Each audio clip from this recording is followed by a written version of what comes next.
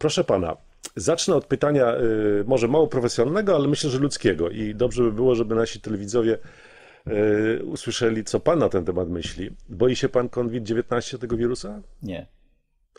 Nie, nie boję się. Po ludzku się nie boję, ponieważ Czyli żyje pan normalnie? żyję normalnie, staram się żyć i, i mówię to wszystkim, żeby każdy żył normalnie, zachowując odpowiednie zasady, y, te, które są związane z pandemią czy epidemią jakiegokolwiek y, choroby. Teraz mamy akurat ten COVID-19, ale to może być każda inna, każda inny zarazek. Każda Czyli traktuje inna... pan tę chorobę jak każdą inną? Jak każdą inną, tylko dotyczy to wielu krajów, w związku z tym mamy jakby tą sytuację ogólnoświatową. Tak? No tak, ale pan oprócz pr- prywatnej opinii musi mieć też, Y, y, musi też się służbowo stosować do Tak, pewnych zewnętrznych oczywiście. Y, wymogów. wszystkie Kierownia, wymogi, która, tak. y, przy- przychodnia, którą pan kieruje, to największa, e, to największa placówka, taka przychodnia POZ-u w powiecie, prawda? Tak, tak. I to właściwie od samego początku. W związku z tym pańska, pańska e, opinia jest miarodajna w tym sensie, że obsługujecie no jednak e, ile teraz, 11 czy 10 tysięcy? e, 22. 22, no właśnie. To jest bardzo duża część populacji powiatu.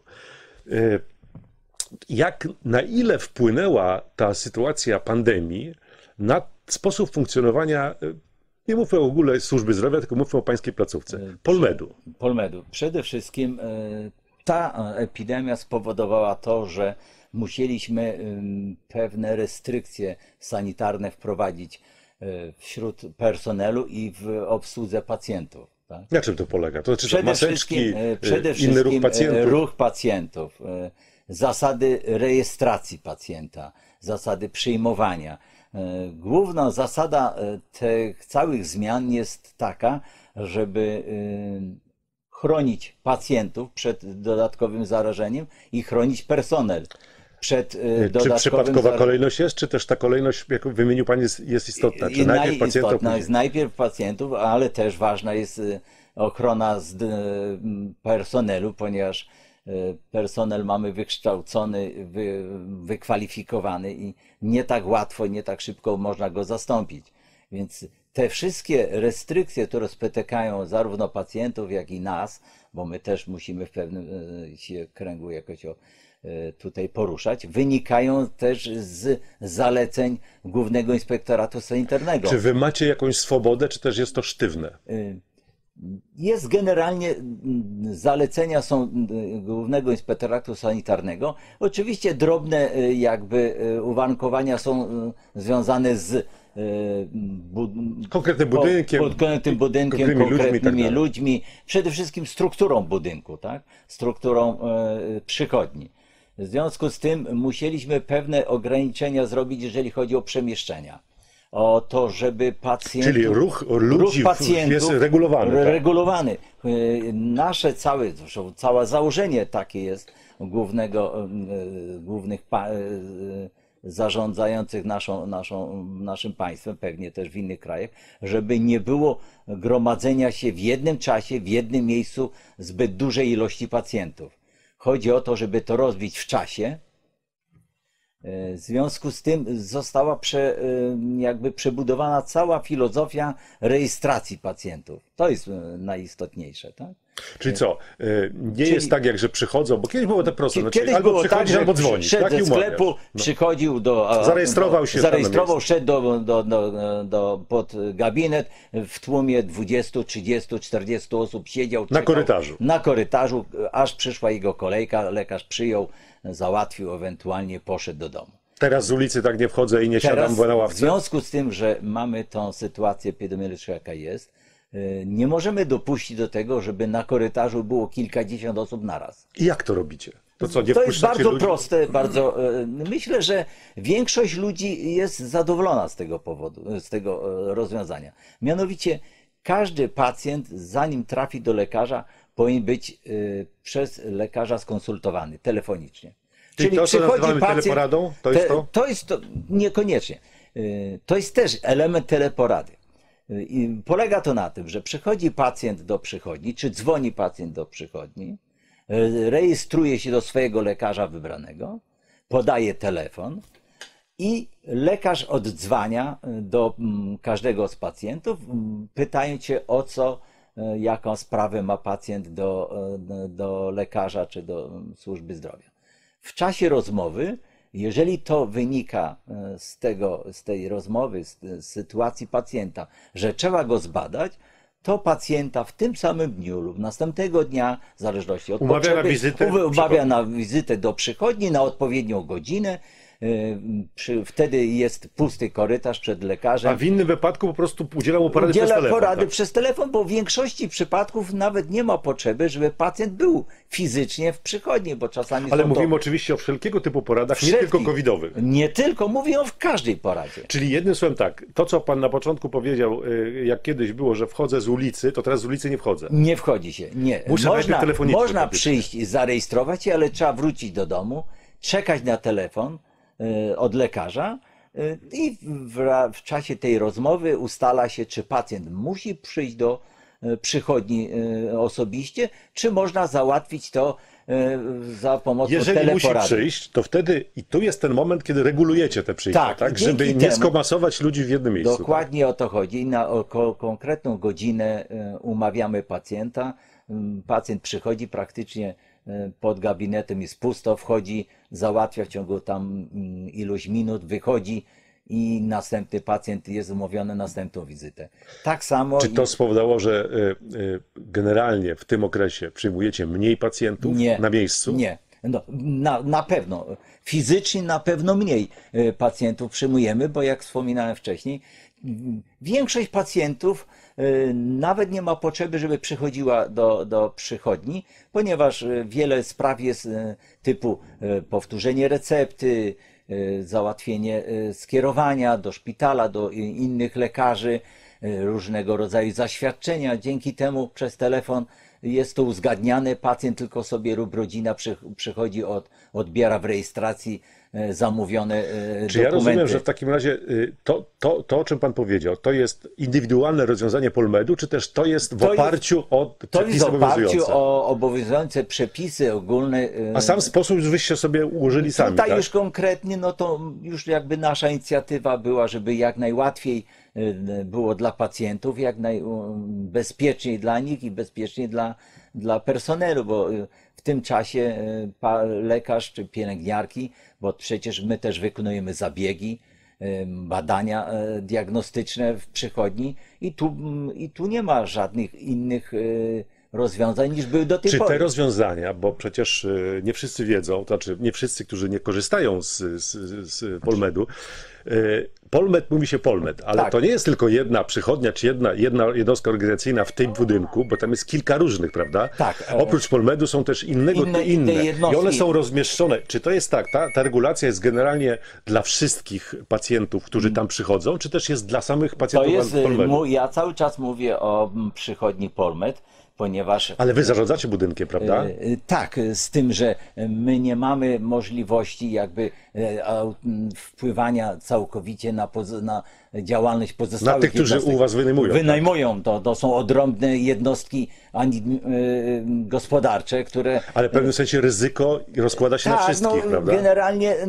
jakoś nie ma większego y, jakby różnicy, ponieważ każdy y, próbuje w podobny sposób funkcjonować. Ale to nie jest tak, że wszyscy się rejestrują w tej samej Nie, to my osobnej mamy, rejestracji tylko, są, my prawda? mamy tylko rejestrację do naszej przychodni. y, Czyli pacjenci muszą wiedzieć, dokąd się udają, do kogo dokąd się, udają, prawda? Natomiast y, oczywiście jest drugie wejście, bo tam wejście z pięć w przychodni, do, gdzie można wejść al, albo do poradni chirurgicznej, osobna instytucja, albo do poradni specjalistycznych typu y, położnictwo, Psychiatrycznej, tam różne są. psychiatryczna, ym, okulistyczna, neurologiczna, tam jest osobna rejestracja i podobne zasady y, tam też się, y, bo my y, to, te zasady ym, budowaliśmy na, na podstawie zaleceń Generalnej Inspekcji Sanitarnej. To, to mm, powiedzmy jakby y, podstawa struktury y, tych przyjęć stworzona została odgórnie. Natomiast my mm, pewne drobne mod- modyfikacje stworzyliśmy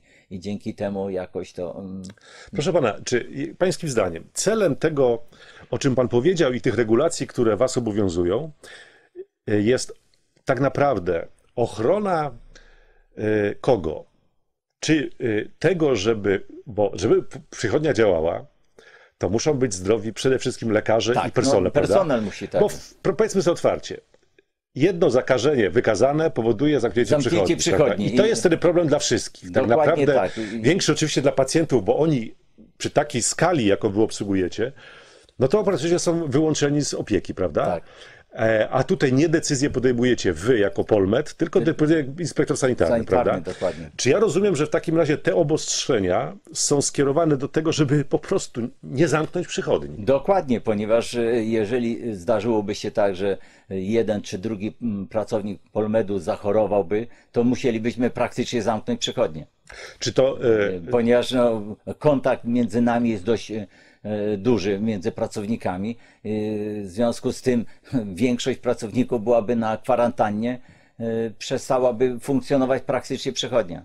Proszę pana, czy pańskim zdaniem to jest to samo, co.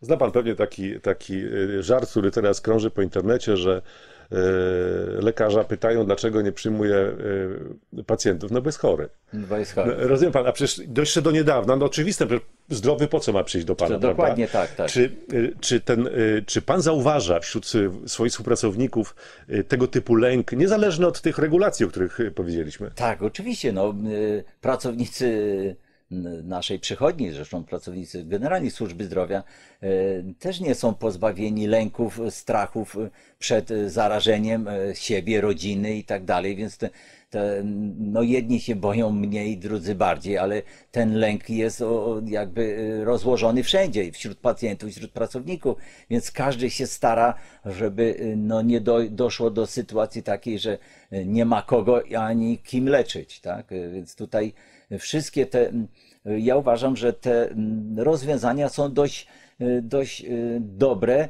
na możliwości nasze kadrowe, tak? Ponieważ y, pracownika wykwalifikowanego nie możemy zastąpić w szybki No tak, to sposób. nie jest tak, że kogoś będziecie z Bo outsourcingu, przychodnie prawda? możemy zbudować, salę gimnastyczną za, za, mm, zająć, wybudować szpital. Bo to nie jest kwestia pomieszczenia, To jest kwestia ludzi. pomieszczenia, ale kto ma to obsługiwać, tak? Więc tutaj y, po prostu musimy się wszyscy, dla dobra pacjenta musi też być chroniony personel. A czy pan jako pracodawca odczuł, odczuł w dotychczasowej, e, w dotychczasowym przebiegu tej, tej pandemii coś, co właśnie ten lęk u swoich pracowników, czy tych, którzy współpracują, który mógłby paraliżująco wpływać na działalność przychodni? Nie, nie, nie, Nie? nie. Wszyscy dość, dość jakby rozważnie i, i odpowiedzialnie jakby traktują to. Jakichś takich lęków, które by powodowały niechęć do pracy, czy niechęć do przyjmowania pacjentów raczej nie mamy. No, jakieś powiedzmy te ludzkie odruchy są, ale to no, każdy rozumie, że tak jest.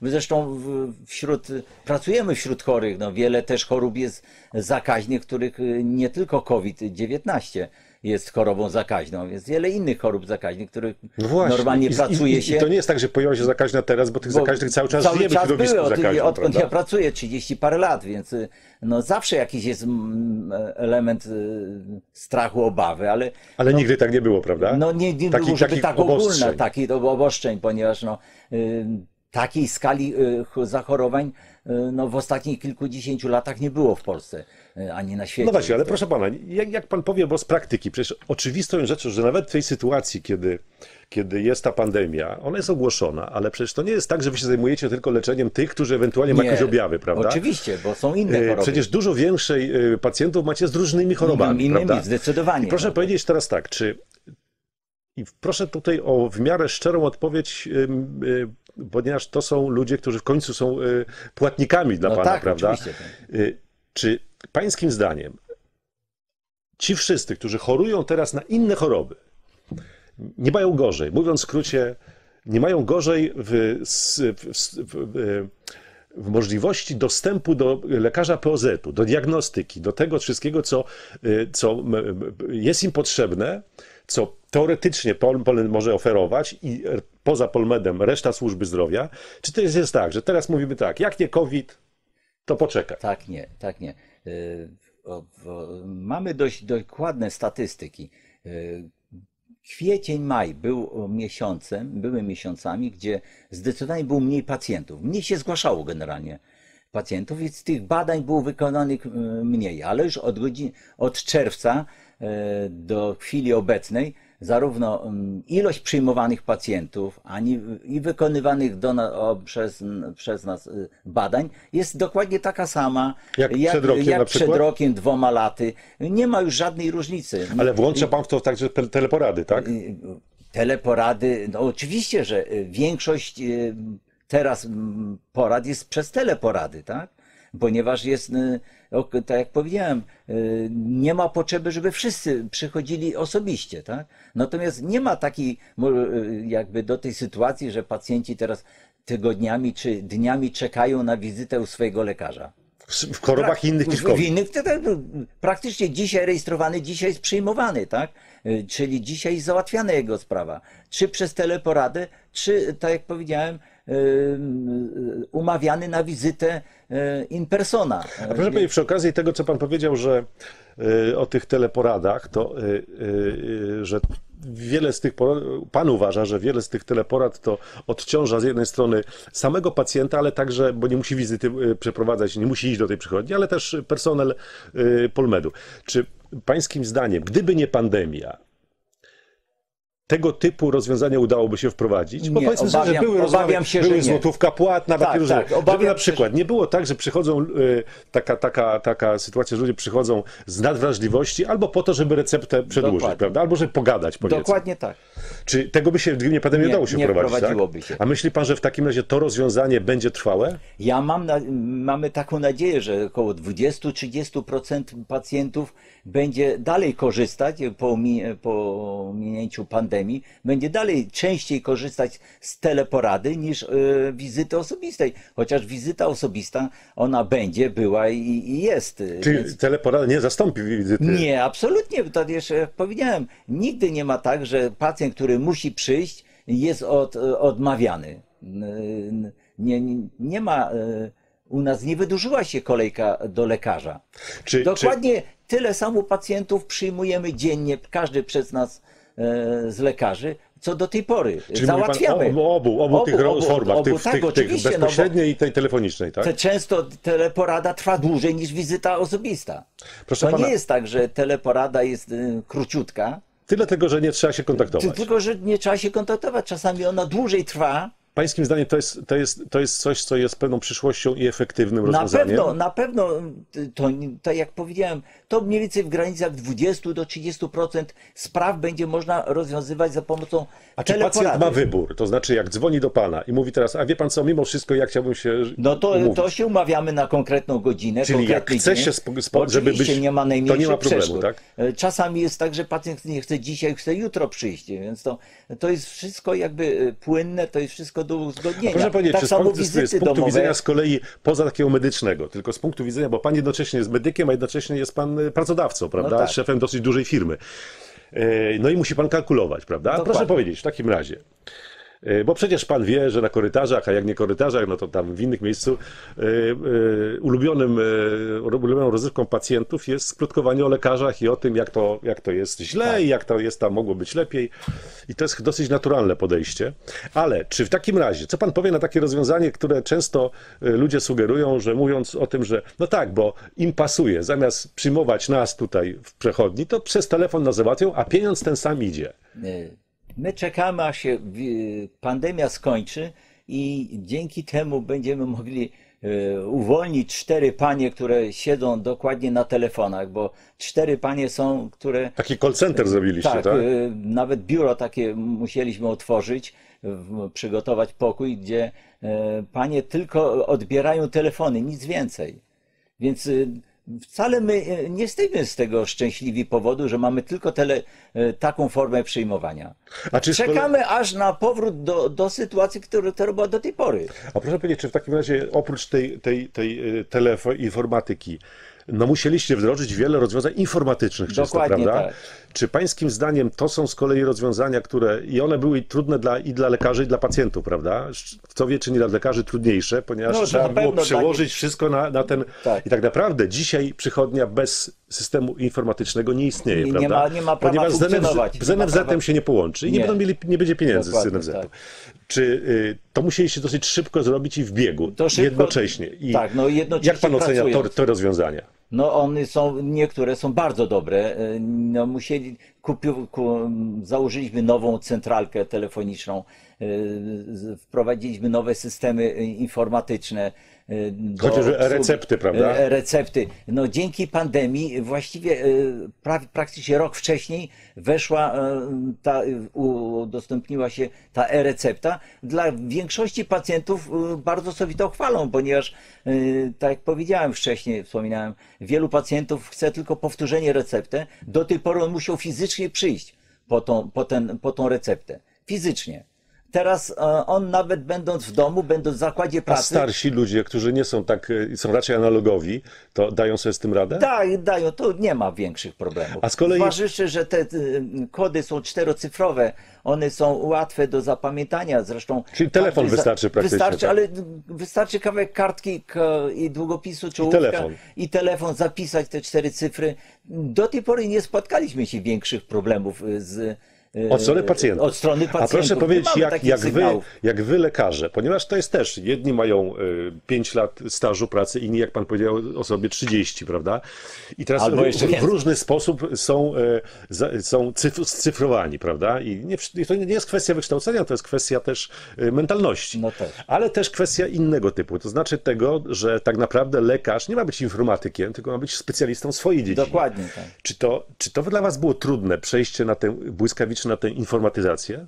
Dla większości nie. Dla większości nie. Ale dlaczego, że nie musieliście tego sami robić, tylko zatrudniliście temu, ludzi? że mamy y, dwóch y, wspaniałych informatyków, którzy nam w tym pomagają, bo- bez nich to by nie funkc- w chwili obecnej żadna poradnia, żaden szpital, żadna instytucja bez y, y, tej y, pomocy informatyków No tak, nie, system, nie funkcjonuje. Nie funkcjonuje, on w ogóle nie, nie, nie, nie, Jest tak, że jak chcesz, bytu. chcesz współpracować z NFZ-em, to musisz być zelektronizowany, prawda? Dokładnie.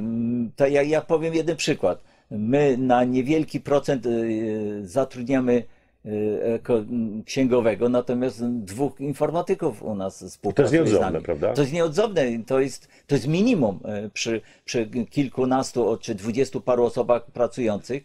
Y, Taka jest teraz wymóg. Bez, to się już nie cofnie. To już jest jakby y, przyszłość. Proszę pana, mam jeszcze dla pana dwie sprawy, które wydaje mi się, że warto poruszyć. To znaczy, może ona jest banalna z pańskiego widy, ta pierwsza y, z pańskiego punktu widzenia, ale wydaje mi się, że warto, żeby ona wybrzmiała.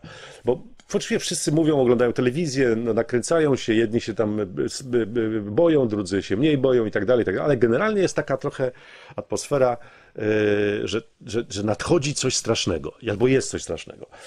No i teraz tak, jak pan wie, no, sugestia wpływa na organizm, na ludzi. I teraz jest, y, jak, jak, pan, jak to wygląda? To znaczy, y, jak ludzie słyszą, że w Goleniowie jest wypadek y, zarażenia, to mówią, a gdzieś widzieli kogoś, bo znają, albo tak, to mówią sobie, o, chrypkę mam.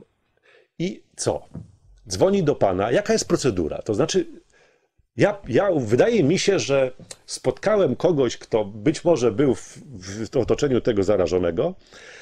I teraz czuję takie przeziębieniowe, to, co, idę do pana, czy do, do przechodni, do mego lekarza, powiedzą, dzwonię najpierw, najpierw trzeba się e, skontaktować z lekarzem, tak? Telefonicznie. Jeżeli, telefonicznie. Jeżeli taka jest potrzeba, to wzywamy, czy prosimy pacjenta o przyjście e, do, do przychodni. Natomiast e, czy pacjent będzie miał badany w kierunku koronawirusa, to decydują pewne ściśle określone procedury. To nie jest tak, że każdy, kto chce, czy ktoś, No to kto mnie pan podejrzewa- skieruje. E, Nie, To nie nie, tak. ma czegoś tak. Nie. Muszą być odpowiednie objawy, muszą być odpowiednie przesłanki. Czyli na wszelki, na wszelki wypadek pan nie, nie, nie, robi bo tego. zresztą też nie ma potrzeby takiej. To z medycznego punktu widzenia nie ma potrzeby wszystkim robić e, badań, Testów, tak? testów, bo nie, nie jest to potrzebne po prostu. E, jeżeli pacjent nie ma objawów, które by sugerowały z- infekcję koronawirusem, to trzeba traktować jako mm, zwykłe przeziębienie, czy zwykła infekcja dróg oddechowych, czy, czy innych dróg, e, które w tym okresie zawsze są. I trudno. I zawsze będą. Bo Zawsze będą, bo tak, i będą. tak będą za kilkadziesiąt lat będzie dokładnie to samo w październiku, w listopadzie, grudniu. Natomiast y, są pewne procedury kierowania pacjenta na takie czy inne badania.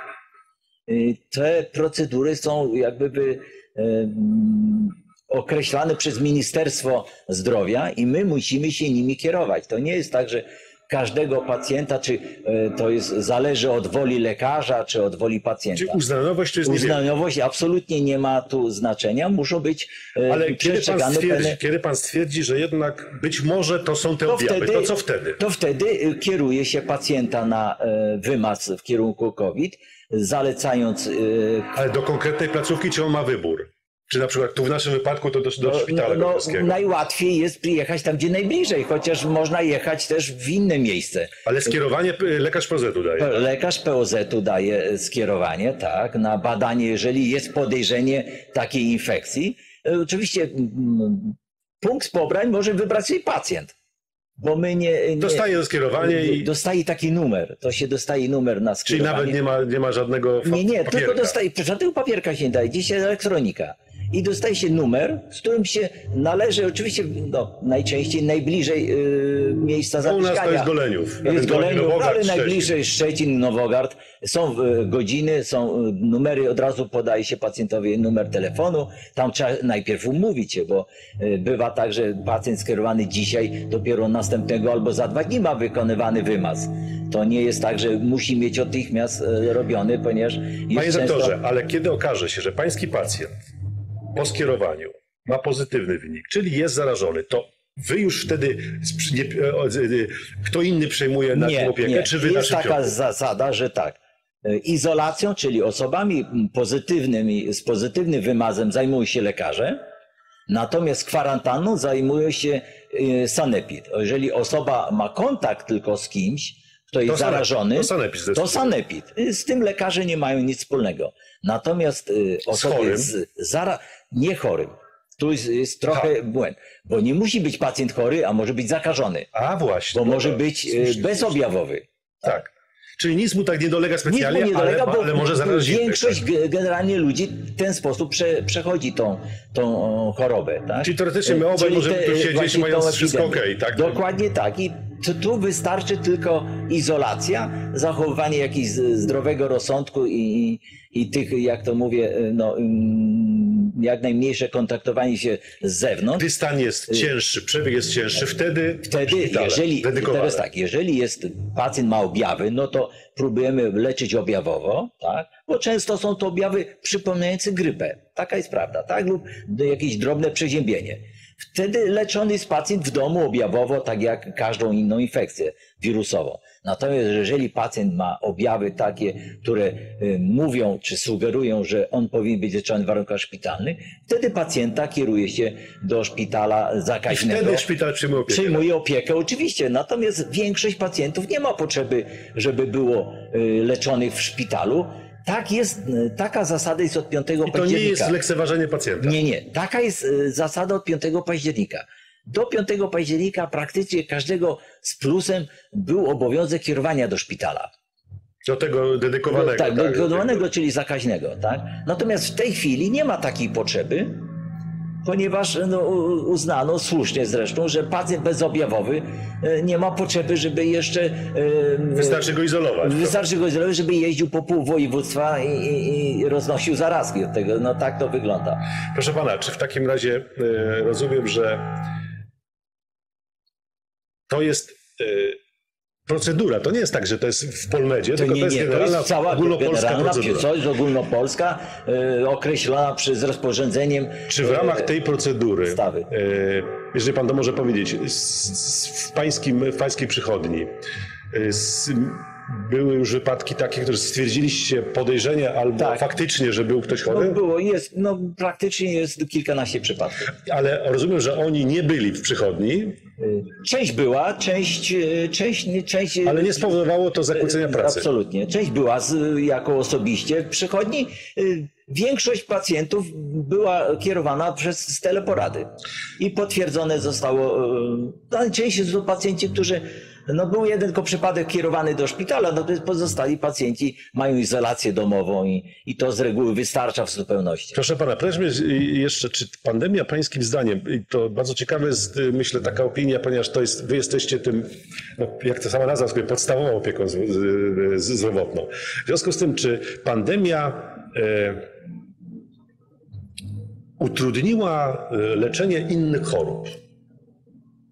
W pewien sposób tak. Y, To na pewno, na pewno jest ograniczenie do, mm, w pewien sposób ograniczenie do lekarzy specjalistów, y, do niektórych oddziałów. Słyszymy przecież, że co, co róż jakiś oddział jest zamknięty, ponieważ y, odkryto, wykryto y, tam Koronawirusa. koronawirusa. koronawirusa, na przykład tak jak ostatnio sz- szpital, y, oddział chirurgiczny w naszym szpitalu y, musiał zostać zamknięty, bo kilka pielęgniarek czy, jeszcze lekarz jest y, pozytywny, czy mieli kontakt z chorobą i więc w ten sposób, no na pewno jest w jakiś sposób utrudniony. Tu nie ulega wątpliwości. Natomiast z mojej informacji, z mojej wiedzy, y, większość y, pacjentów, czy wszyscy na inne choroby są normalnie leczeni kardiologicznie, onkologicznie, są wszystkie inne poradnie, działają. Właściwie nie ma takich przypadków, myśmy nie mieli takich przypadków, że pacjent z inną chorobą został odesłany, bo,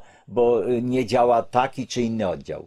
Z takimi przypadkami raczej nie mamy do czynienia. Czy pan obserwuje teraz... Być może, że w maju, w kwietniu było na pewno trudniej, ponieważ y, część przychodni specjalistycznych było y, duże ograniczenie miało przyjęcie. W chwili obecnej wszystkie te poradnie, które specjalistyczne działają w naszym budynku, działają normalnie, więc y, nie ma najmniejszych powodów y, i ani najmniejszych Jak pan ocenia teraz aktualną sytuację? Czy pańskim zdaniem to jest tak, że teraz ludzie się przyzwyczaili i obawa, czyli bardziej obawa jest mniejsza?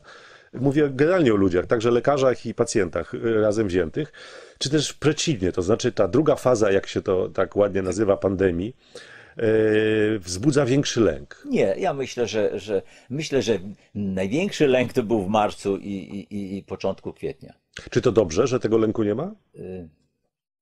To znaczy, z jednej strony dobrze, że, że u ludzi jakiś nie, histeria się nie wyzwala, czy jakieś takie lęki, natomiast y, te poczucie takiego trochę rozluźnienia może powodować to, że ludzie y, przestaną może mniej restrykcyjnie te zacho- zachowania y, mm, stosować. Nie będą się stosować tego ostrzeń, tak? Tylko obostrzeń. To jest, to jest y, ta obawa, że y, część ludzi zacznie lekceważyć y, te zalecenia, które y, są, y, które są zalecane typu DDM, czyli No tak, ale jak to wyważyć? no Trudno tego tak się nie da wyważyć. Ludzka różni natura jest jaka tak. jest, więc no, tutaj się tylko trzeba apelować do zdrowego rozsądku, do jakiejś rozwagi e, pacjentów, społeczeństwa. No, tutaj no, nie Ale też się... lekarzy i personelu, Do lekarzy, prawda? no wszystkich, to wszystkich dotyczy. To wszystkich dotyczy. Proszę to nie jest pana. tak, że jedna jakaś grupa jest bardziej świadoma, druga Mam nie. jeszcze do Pana y, y, następującą kwestię, jeżeli chodzi o y, Polmet. Y, to znaczy, y, ale właściwie to jest szersze niż Polmet sam. Nie wiem, czy Pan czytał informacje, które ja przekazałem. W, po raz pierwszy w, ta, wczoraj, przedwczoraj wojewoda szczeciński delegował pięciu medyków, w tym chyba dwóch lekarzy, znaczy skierował i to było skierowanie. E, Nie wszyscy ludzie wiedzą, że to lekarze to nie są tak wolni strzelcy, bo są sytuacje prawne, które Tak, tak. mogą, można ich mówiąc w skrócie, jak, jak żołnierzy zmobilizować Tak, prawie, tak, prawda? bo, bo są urzędnikami I, państwowymi. i, I wojewoda dziękował za to w komunikacie, za to, że ci ludzie dobrowolnie, znaczy zgo- zgodzili się i przyjęli te, te, te, te skierowania.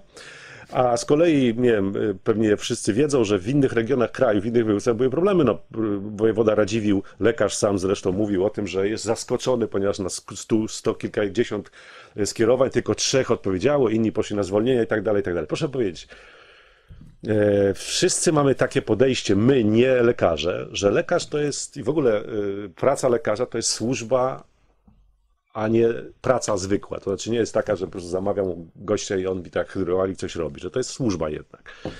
Proszę powiedzieć, czy jak w takim razie pogodzić to? Czy pańskim zdaniem to jest, to jest problem, y, żeby, że lekarze zaczną się bać y, obsługiwać pacjentów z koronawirusem, albo nie będą reagować na tego typu.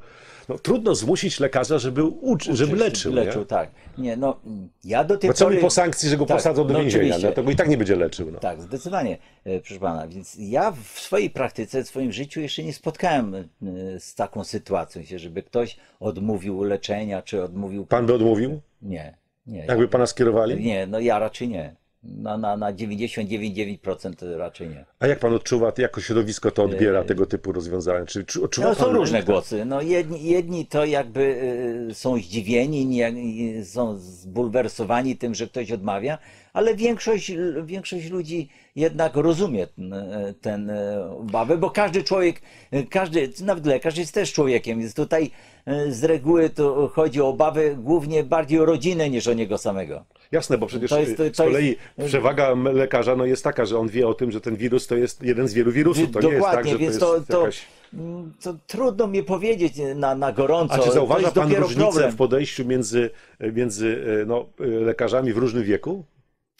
Bo ja, ja tak e, czytałem takie informacje, że, że problem, no, chociażby to, że były problemy z studentami u, e, uniwersytetów medycznych, żeby ich nakłonić do pewnych praktyk e, związanych z, z taką mobilizacją w czasie pandemii. E, Czy to nie jest tak, że, że młodsi lekarze, czy pan to tak zauważa, że młodsi lekarze, mówiąc tak bardzo ogólnie, boją się bardziej niż lekarze starsi, mimo że starsi są bardziej w grupie ryzyka teoretycznie? Tak, ja myślę, że to nawet nie chodzi. Tu ja bym, ja bym tu widział raczej mm, problem pokoleniowy. To chodzi z innym, w innym świecie starsi lekarze się wychowali, w innym świecie wychowują się młodzi. I to wpływa na ich I to zachowanie. głównie wpływa. Prawdę mówiąc, yy, między moim pokoleniem 60-latków, a pokoleniem 30-latków to jest yy, jedyne zbieżne to, że mówimy po polsku.